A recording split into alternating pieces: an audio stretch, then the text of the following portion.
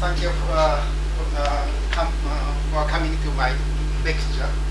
Today I am going to uh, present my fourth lecture of my five series lecture. Particularly at the title this afternoon, Structure Dependent Grain Boundary uh, Deformation Fracture at high temperature. Particularly, I want to emphasize at high temperature because at high temperature, grain boundary or interface play more significant role in deformation and fracture in polycrystalline material because the atomic diffusion can be more significant. So deformation, which the, uh, the controlled by diffusion of atom, can be affected by boundary more significantly than at environment the, at uh, ambient temperature or low temperature. This is the reason why I choose this title, particularly at this today. So,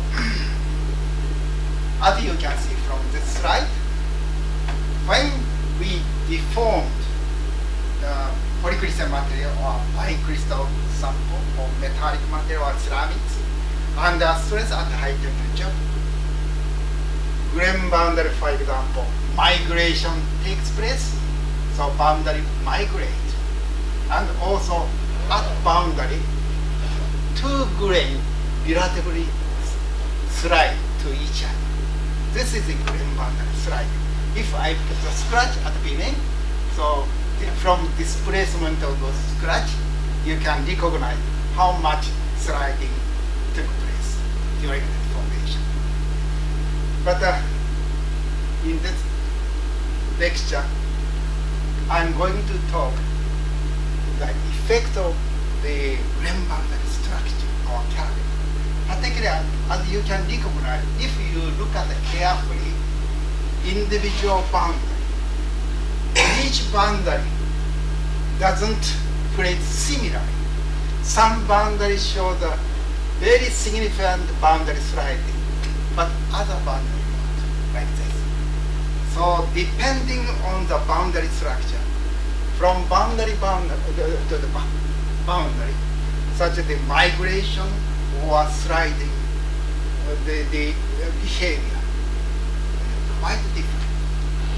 So this is a structure dependent grain boundary deformation, or even the fracture. So, so just briefly, I want to show the outline of today's talk. Firstly, I want to discuss interaction between dislocation with boundary, dislocation from grain interior during uh, the deformation under stress, dislocation from grain interior impinge the grain boundary, and then some interaction takes place. So what happened during high temperature deformation? And then so effects of boundary character structure is very important. And then because of such an interaction, original boundary structure can change or modify during deformation. So again, boundary sliding or boundary migration can change. And then, particularly structure dependent grain bound sliding, using a bicrystal sample is more very simple. We can recognize such a structure dependent behavior very easily. Even the dyna dynamic migration under stress can be different from static mig grain boundary migration without stress. And also uh, important topics I want to emphasize today is effects of grain boundary structure transformation. Because when we increase the temperature, of course, crystal, uh, crystalline material consists of regular array of atoms. But if we increase the temperature, atom can vibrate depending on the level of temperature. So if we increase the very, up to the very high temperature, atomic fluctuation become quite significant. In that, in such situation, atomic arrangement or grain boundary atomic structure can modify to increase the entropy of the, the boundary. So this can cause the grain boundary structure transformation. As a result of this, boundary sliding or boundary migration can drastically change at some critical temperature. So this is the grain boundary structure. Of course, most of the metallurgical phenomena associated with grain boundary can occur at high temperature. So to recognize such effects of grain bound structure transformation is very important. But to my knowledge, unfortunately, not many people realize such importance of grain bound structure transformation. So for example, when the grain boundary segregation is discussed in the steel or other material, but normally segregation can occur at high temperature because segregation needs diffusion process. So in this case, but unfortunately, when we discuss effects of boundary structure on segregation, amount of segregation, not many people discuss or emphasize the effects of boundary structure uh, transformation. So I want to emphasize the importance of the grain bound structure transformation today. And then on the basis of such knowledge about the structure dependent grain boundary, deformation or fracture, how can we engineer grain boundary to produce high performance, high temperature material, for example, or which is a very resistant to fracture or very high performance creep resistance for high temperature. So, firstly, improving the creep strength or, or oppositely, how can we engineer the grain boundary to give the brittle material or workability or superplasticity. This is the second topic. And then when we use material, polycrystal material at high temperature, of course in the ordinary ordinary environment like uh, air, oxidation occurs. So because of oxidation, particularly in material, grain boundary can be preferentially oxidized. And because of the intergranular oxidation, as you know, the oxidation assisted brittleness occurs. This is a very serious problem in engineering material, high temperature, used at high temperature. So how can we control such an oxidation assistant intergranular brittleness? Actually, we have already succeeded engineering of such a control of oxidation. But anyway, as I already mentioned at the, my first lecture, nowadays we can, this is the optical microscope, taken the, the, by, uh, the, taken by the ordinary optical microscope. But this is boundary character distribution determined, analyzed by modern orientation imaging microscope. So, as you, if you compare the two pictures, you can clearly recognize, particularly in the dark area, if you look at it carefully in this area, from the opt optical micrograph, we cannot clearly recognize here is a boundary. But because orientation may be similar. So in this case, by etching of the surface, the maybe image contrast is similar. So, but anyway, by orientation imaging by using a OIM, we can clearly recognize the difference in orientation of the, two between the two groups. So we can determine the boundary type like this. So even if you look at the carefully around the maybe here the grain boundary because low angle boundary surrounded this one. So there is no big difference. So maybe dark area separated like this. So so nowadays we can determine the character of individual boundary existing in real polycrystalline material like this. Is the case of molybdenum polycrystalline uh, sample produced by annealing from deformed single crystal.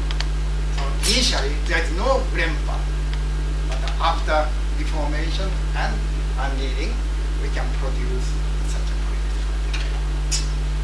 So anyway, what happened at high temperature under the, the polycrystalline material sample but kept under stress. Already, as I mentioned, boundary migration or sliding occurs. Finally, due to the sliding assi assistant, such as intergranular fracture occurs. So particularly at high temperature, intergranular fracture occurred more serious and more significant. So creep deformation, creep fracture. In other words, it's called the creep, the, the, the embrittlement. So like this. So generally speaking, when the polycrystalline material shows the more severe intergranular fracture, material become more brittle. This is the general tendency. Not only high temperature, even at room temperature so to control the, such a intergranular fracture at high temperature is very important to develop high performance high temperature material, which is used temperature. But uh, from this micrograph, you can easily recognize what type of boundary can preferentially break or serve. As you can see, oh, uh, stress axis is horizontal. So you can easily recognize R denote indicator random high energy and sigma or low angle boundary or special Poisson's bound sigma service.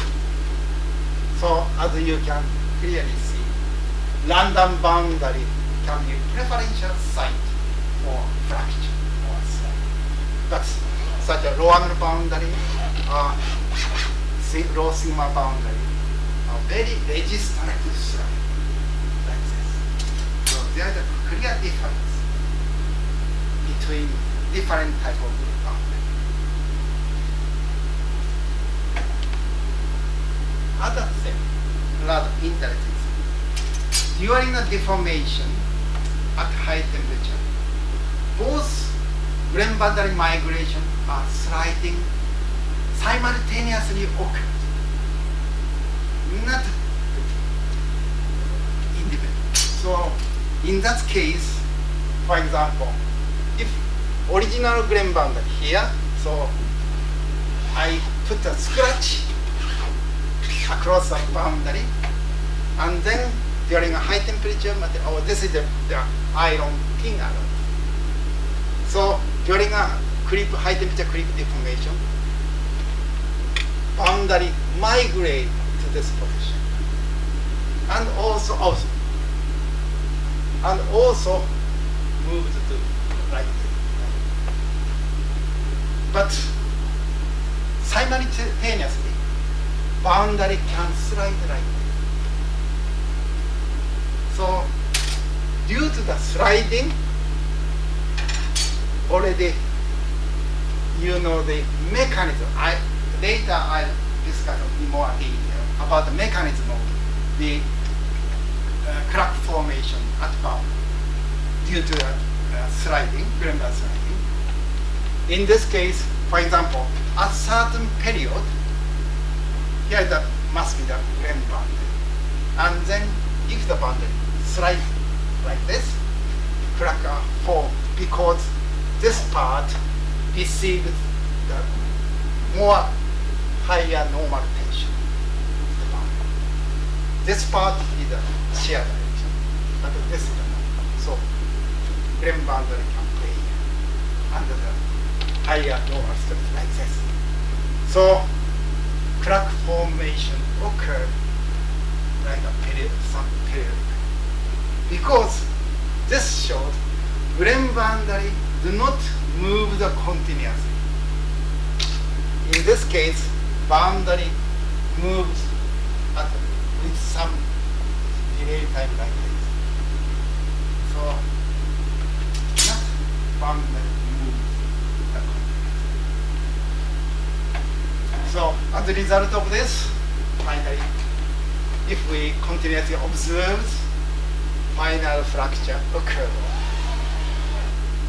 So such a very complicated intergranular fracture occurs in real polycrystal due to the simultaneously occurring the boundary migration and the slide.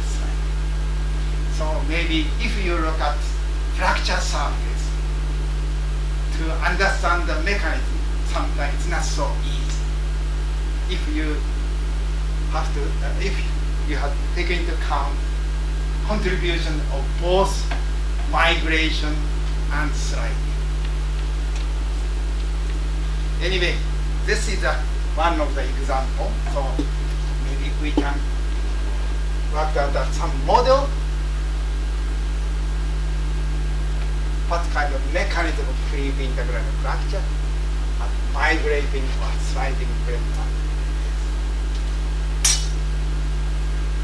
So, but anyway, under the stress by grain boundary migration can occur differently from without condition without stress. So of course, activation energy can be different because of the different of, of mechanism of migration. That's the static migration.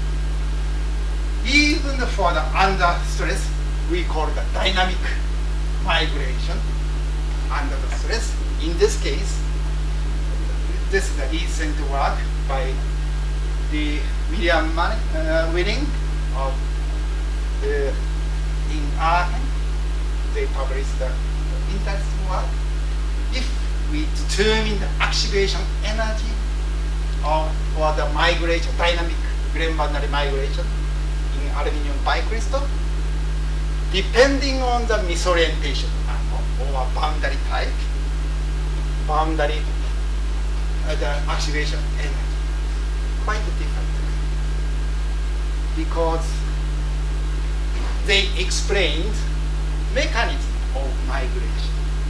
It's different between uh, depending on the misorientation. So if some of you are interested, in please, please page. But anyway, another important issue which we should discuss the, for the deform effects of boundary on deformation and fracture at high temperature its continuity of slip slip continuity. For example, if you carefully look at the micrograph of the deformed material, even in polycrystal material, at grain boundary, some slip trace can be continuous, but some are not. Why? So this is very important. For example, in this case, about nearly 20 years ago. The Dr. Lim and the Professor Raj of Cornell University reported. Now he's in Singapore National University, Professor Lim. Using a nickel by crystal, whose boundary character was already characterized, well, they observed, studied continuity of slip line across the boundary. So, depending on the type of boundary. As you see, the, here is the boundary. So, slip trace is continuous this, case.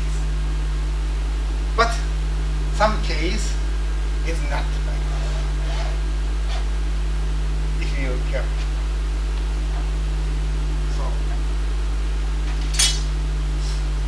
of course, you can easily imagine what physical mean, what physically mean if slip line is continuous across boundary. The role of grain boundary as barrier to dislocation motion is well known. So we discuss, often discuss the effects of grain size on flow stress or fracture in connection with such knowledge.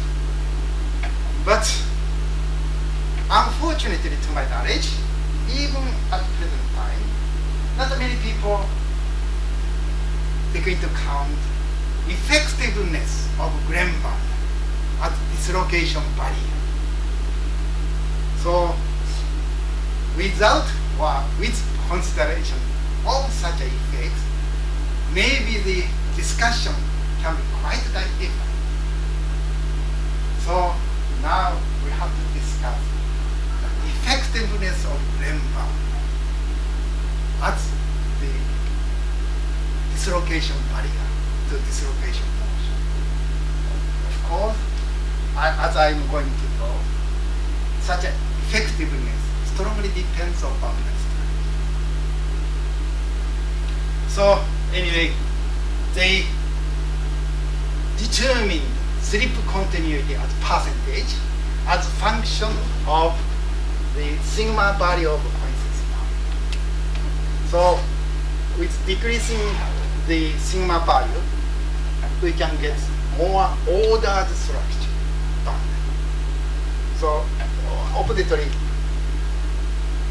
this is the energy, more random but uh, when slip occurred by screw dislocation, in this case, slip continuity decrease with increasing value.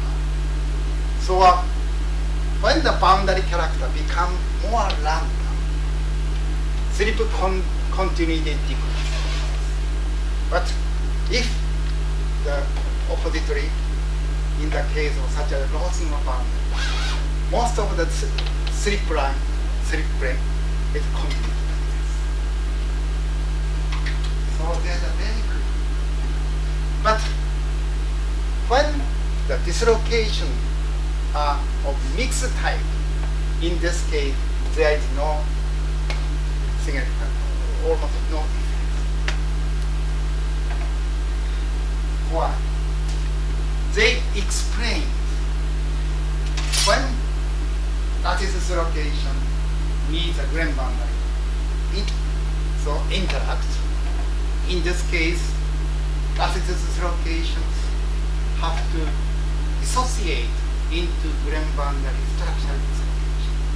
And then another new lattice dislocation is the convert from the boundary into the other uh, agree. In this case, depending on the boundary character, some remaining residual parts of grammar dislocation remain. So depending on type, type of boundary, character of boundary, such as the remaining residual stress and also length magnitude of Burgers vector. Actually, the the Burgers vector for the low sigma boundary is larger. As I mentioned, size of superlattice of coincidence boundary increase with decreasing sigma pi. So the large uh, the magnitude of the Burgers vector can be more continuous at this point. This is the things. Like this. So again, as without such an interaction, boundary with a different character show the different behavior. For example, one of my colleague or my co-worker, now Professor Kokawa, published more than 25 years ago. If we observe the grain bound sliding behavior as function of time for the different type, this is the coincidence boundary, this is the random boundary. As you see the at the coincidence, oh sorry, random boundary, boundary sliding can easily occur like this. But the, for coincidence boundary, sliding occurred at initially, but saturated. So slight hardening occurred.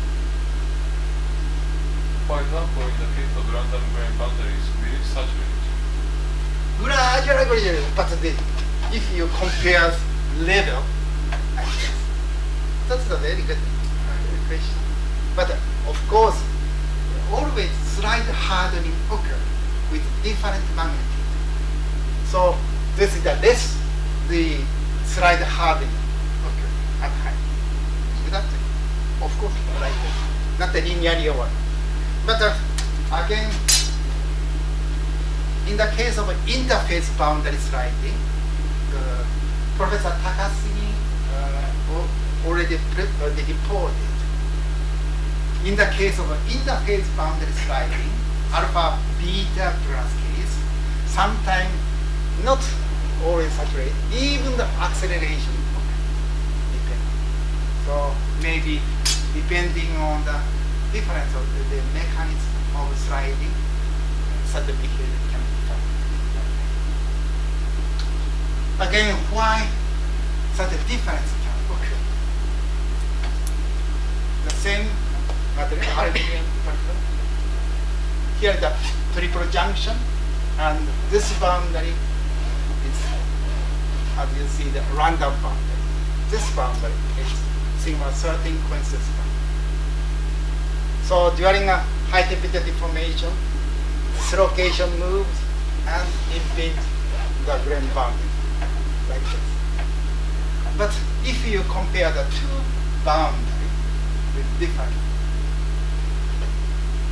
at random boundary, you can see smaller number of line image. But here at coincidence boundary, you can see many line image of lattice image. Actually, at random boundary, lattice dislocation can absorb very easily compared with coincidence boundary. Because lattice dislocation do not have a Burgers vector along boundary plane. So absorbed in the grain boundary, such process needs diffusion control climb and glide mechanism. So diffusion along the boundary or around the boundary, very important. But uh, in the case of coincidence boundary, because of the, the higher order of atomic, the, the boundary structure, the normally grain boundary diffusion very difficult compared to boundary.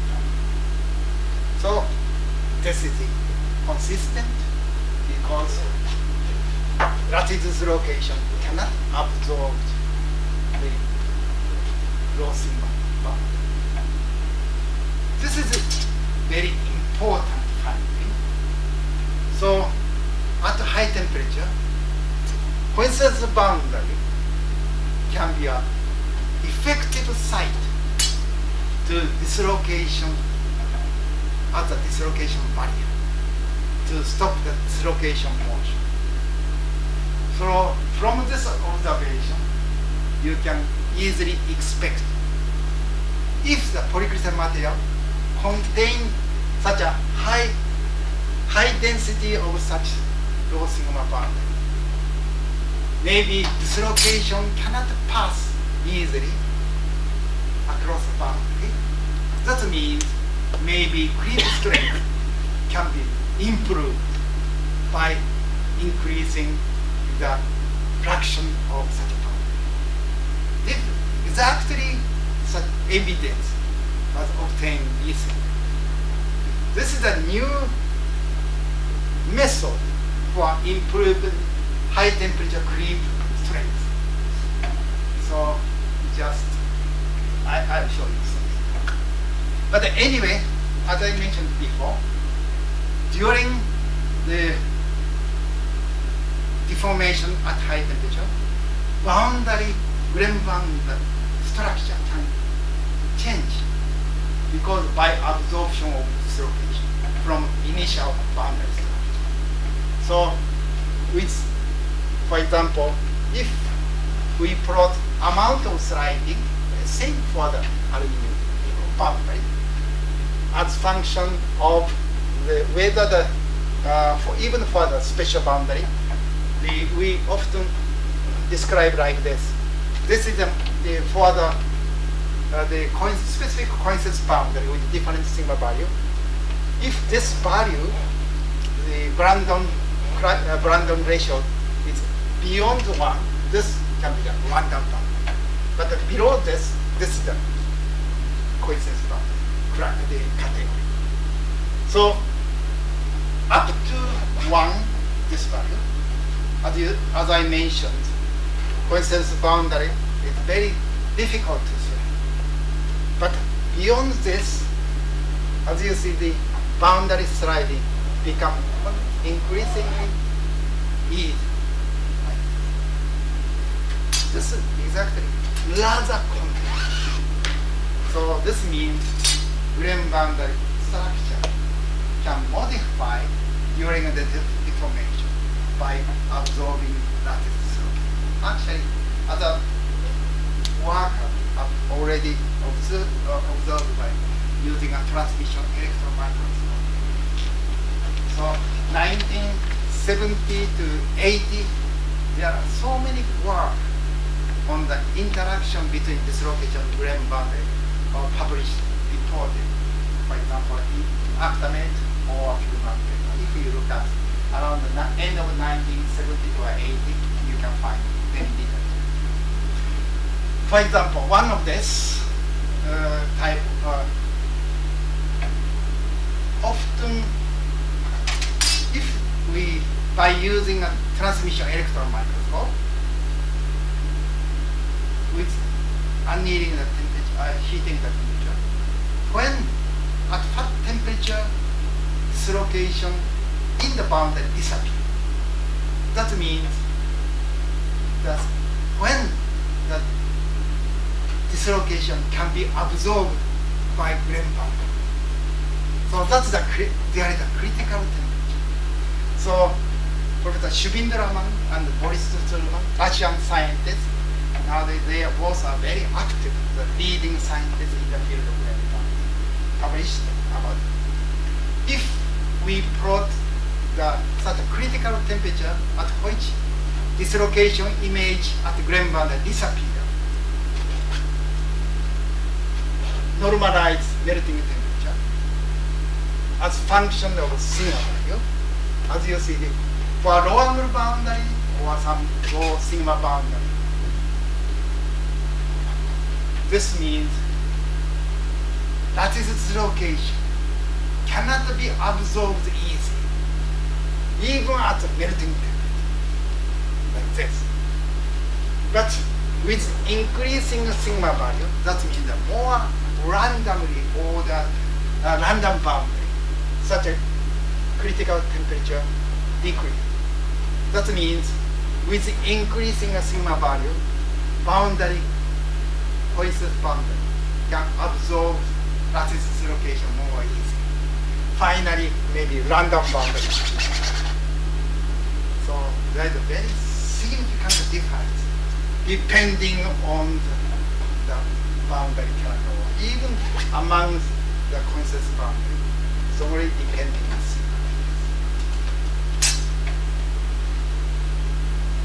So now, next I want to discuss about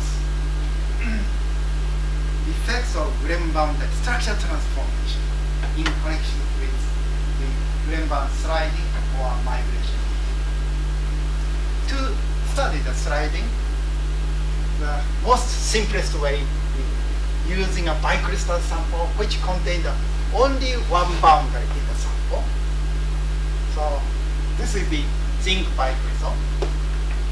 In this case, boundary line perpendicular to the, the surface, and then we change the misorientation angle artificial by growth of during So here is the misorientation. So this means in this case 1 over 1 over axis in this line, in the boundary. So this is the tilt bar. Basal plane uh, arranged symmetrically to the plane boundary. Like this. So maybe you can slightly bigger. But and then before the creep testing, we scratch. We put the scratch on the surface, and then after some the creep test uh, time, we can measure the displacement. This is the amount. So, as I already emphasized, at high temperature, boundary structure can change. This idea was already pointed out even nearly 40 years ago by Edward Hart, So he mentioned two-dimensional phase transformation.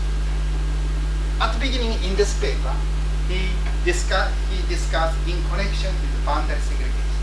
But later in this paper, not only segregation, even for the even under pressure boundary structure transformation count.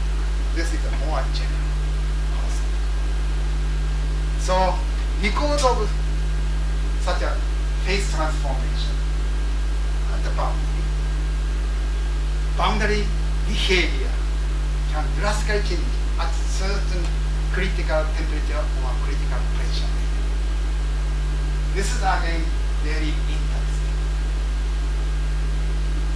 So, in our case, how the such a boundary structure transformation can affect grain-bound sliding behavior. So, at different temperature, we measure amount sliding as function of delta. Actually, so many, not only three different uh, temperature, more uh, many. And then, if we plot the sliding rate as function of the temperature, actually 1 over E. For rather low angle boundary, we can get a straight line, the same temperature difference. But for high angle boundary, 40 degrees tilt boundary, in this case, here is a bent or change of the. So depending on the misorientation angle, the TC can change. Particularly for 54 degree misorientation angle, we can see the critical temperature very close to melting temperature. So if we plot this TC, critical temperature, as function of the tilt angle, we can get a, such a curve. So such a change occurred at this temperature. This means low angle boundary for the low angle boundary, such a transition temperature must be beyond or up to melting temperature. But in the case of high general boundary, that's the rather. If we describe the, this melting temperature at homologous temperature about 0.7 beyond, beyond 0.07 or 0.8 of the melting but most important finding is this. In the case of this actually this boundary very close, disorientation very close to sigma 9 coincidence boundary. This sigma value is smallest value for this rotation axis. So in this case, like this. So in this case, critical temperature drastically increase up to no so this means thermal stability of grain boundary structure, physical. So low angle boundary or such a low sigma coincidence boundary have much higher thermal stability. So very stable until high temperature. But other random boundary with low high energy boundary. They are not, do not have the higher thermal stability. So boundary structure can rather easily change from low temperature structure to high temperature structure. So this is very meaningful. When you want to heat the treatment of your sample at certain temperature, annealing temperature, expecting some effects of grain boundary or segregation or grain growth or any other. In this case, even if you characterize grain boundary by most of more than OIM at room temperature, if you anneal beyond a certain temperature, boundary structure can be different. Have you considered such a possible effect so far? Like this. So we have to take into account such effects of boundary structure on the boundary related phenomena. Of course, so if such a boundary structure transformation occurred, boundary energy can change. Because of the such change, segregation of impurity, effects of segregation also can be different. For example, in the case of sliding, if we produce a, the two different bicrystal sample with different purity, but the misorientation angle is the same. In this case, for the degree, but critical temperature shift. Because amount of segregation strongly depends on boundary energy. So such a knowledge is very important. And oh, again, another thing about the dynamic migration during a deformation. If we stress cycle at high temperature, often fatigue can occur stress cycle. In this case, boundary migrate like interrupt like this. So correspond to the number of cycle. But depending on the type of boundary, such a special boundary cannot migrate.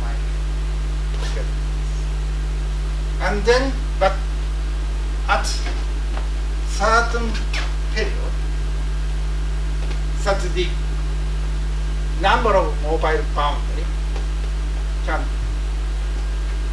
percentage of more immobile, immobile boundary, such immobile boundary, drastically decrease. That means more boundary can migrate at certain.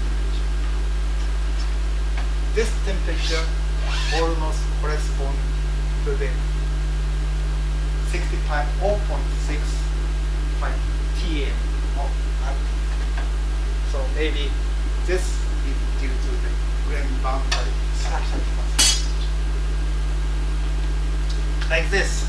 So this is a basic knowledge on the grain boundary structure dependent boundary deformation and fracture at high temperature. So now, within the five minutes, I briefly mention how can we use such a basic knowledge for grain boundary engineering for high temperature material. So, firstly, as I already mentioned, if material contain polypid material contain a high fraction of special boundary, what happens? Even for a single, in the case of bicrystal sample, if the bicrystal sample contains the special boundary, creep deformation becomes more difficult like this. In the, this is a sigma 9 boundary. But uh, even at high angle boundary, contain the high angle random boundary, creep deformation of more easily. So from this knowledge, what happened we introduce more special boundary in our engineering material, like a nuclear reactor alloy 600. This is very important for nuclear for reactor. As you see, if that material contains special boundary, coincidence boundary 10 to 15 percent, creep deformation occurs rather easily. But if we increase this percentage almost double or more, more than that, creep deformation becomes more difficult. So we can improve, drastically improve the creep resistance. Just for the same material, but just by introducing the designing or engineering grip. This is a really new. Unfortunately, this knowledge has not been used the, the wide as again same thing. If we plot the steady state plate as function of special boundary, single boundary, as you see, free plate drastically decrease like this. So this is a really new technique. So next by controlling the grain boundary, we can improve the workability at high temperature by introducing a superplastic, even for brittle material. As you know, the aluminum lithium alloy is very good at room temperature. Actually this material very promising material for the uh, aerospace or another the, uh, structure. But what happened during the deformation in connection grain boundary structure? We observed, we analyzed the boundary microstructure during the superplastic. So, of course, by tensile deformation at constant strain rate, work hardening occur and show the peak stress and then decrease and then steady state appeared for a certain period and then fracture. So in this case, more than 250% elongation we. But what happened to the grain boundary? Up to peak stress, we observe most the random boundary about 37% or 40% up to, up to 40 But beyond this, the percentage of random boundary decrease or uh, increase drastically, almost down. So already I mentioned random boundary can slide very easy. So as you know, the mechanism of superplasticity is the Rembrandt sliding. So if we introduce more random boundary, material can be formed by sliding more easily.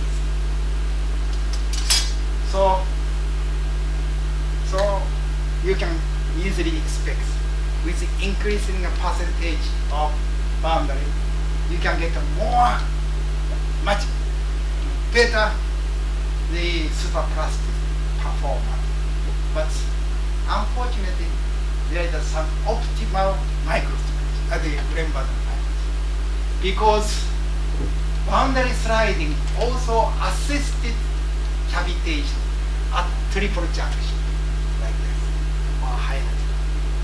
So we have to compromise. We have to produce optimal boundary microstructure.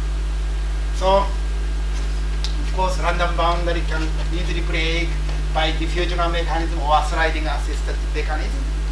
But, uh, in such case, in the case of superplasticity,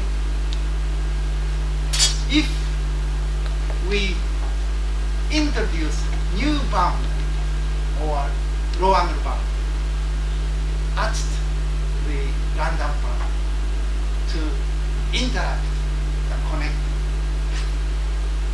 by increasing strain rate, what happens? Actually, we can get more elongation because as I showed before if we keep continuously deform at strain rate without doing anything maybe this cavitation occurred and fracture but if we change the strain rate, introduce dislocation or lower boundary, and connect, interact. Let the boundary interact with the dislocation. Boundary character change, and then maybe the crack propagation. So, as we expect, if we have some basic knowledge, we can predict some behavior. So depending on such, we can model such a uh, deformation, superplastic deformation, actually occurred in the real polyester material. Uh, now the time almost I they used up. Just I mentioned about the, the oxidation. Again, oxidation occurred high energy bound, but not low energy bound. So if we control the grain boundary microstructure in real material, in this case nickel iron alloys, by in this case by rapid solidification and annealing, we can change creep resistance also, and then we can change the oxidation behavior from the surface depending on the grain size and grain boundary character. So what's the best grain boundary microstructure for oxidation resistant control? It's opposite case is this. So if we reduce the fraction of random boundary and use the grain size oxidation penetration cannot occur deeper in the sound. This is a simple idea of boundary engineering. So not only such a the behavior, also wetting is also important for high temperature fracture because sometimes the low temperature melting temperature phase the, the, the and then wet the boundary and wetting enhance fracture internal. So also wetting behavior depending on critical security. Like this.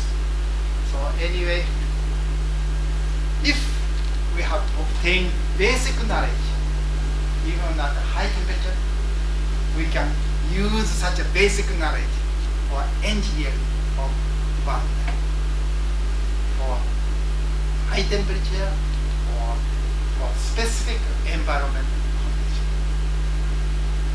So I think boundary engineering is very promising for future material design. Thank you for your attention.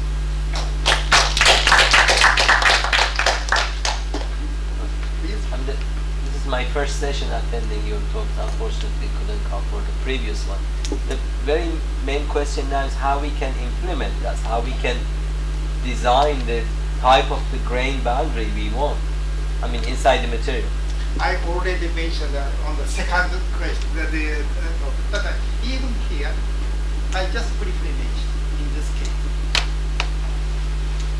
For example, in this case, of course, from using an initial same sample, we rapid solidify, in this case, uh, the ribbon sample, at different sol- solidified rate, uh, speed and different annealing temperature.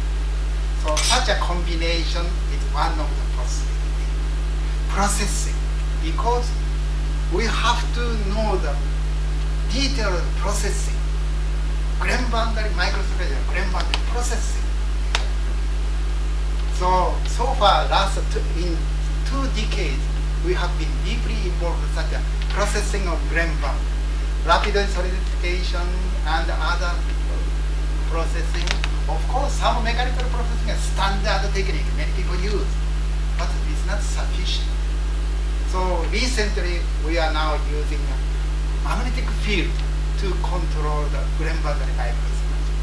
Last five years, that topic become increasingly the important.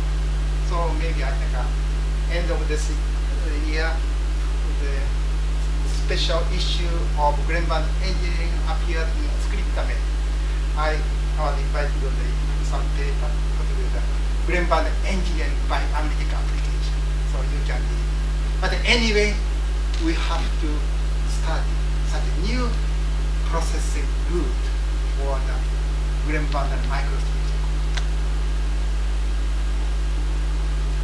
During your talk, you mentioned that at high temperatures, which may, uh, which may close at uh, melting temperatures, to the uh, modified the uh, structure of grain boundaries, uh, which will probably end at uh, uh, Sorry, to say. Yes. Oh, yes, definitely.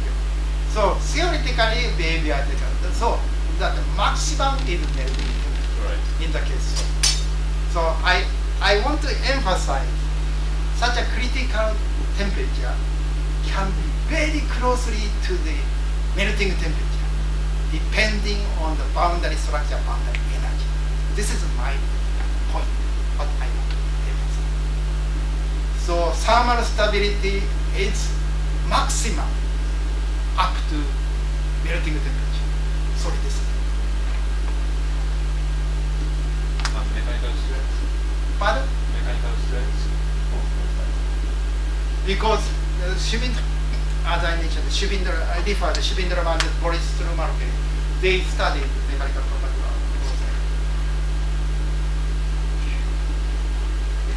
Uh, you, you talk about a very uh, stable uh, boundary which is beyond the melting temperature. Ah, not the uh, beyond the melting temperature, Ah. because solid, as he said, Ah. maximum is the melting temperature. Uh, so, but, yes, but uh, I, I'm simply aware that this is just a, a beauty of the um, special grain boundary. yes. But the most, the most stable state is simply seven. Yes, of course, thermodynamically, thermodynamically, uh, yes, because the boundary has extra energy,